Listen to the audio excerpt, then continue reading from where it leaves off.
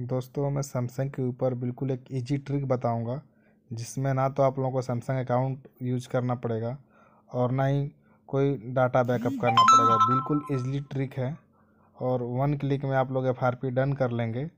Video अच्छी लगे तो लाइक करिएगा और चैनल को सब्सक्राइब कर लीजिएगा। तो आइए वीडियो को शुरू करते हैं। वीडियो को आप लोग स्टेप बाय स्टेप देखिएगा, तभी आप लोग सेम प्रोसेस करके FRP रिमूव कर पाएँगे।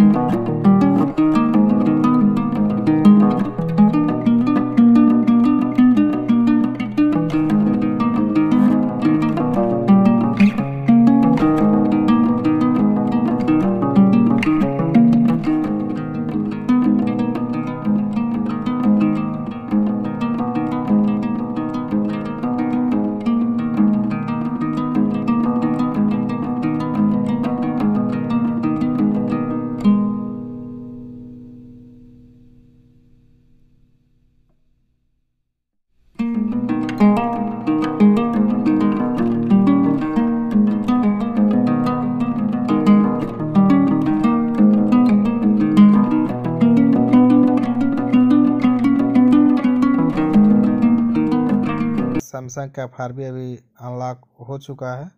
वीडियो अच्छी लगे तो लाइक कर दीजिएगा और चैनल को सब्सक्राइब कर लीजिएगा।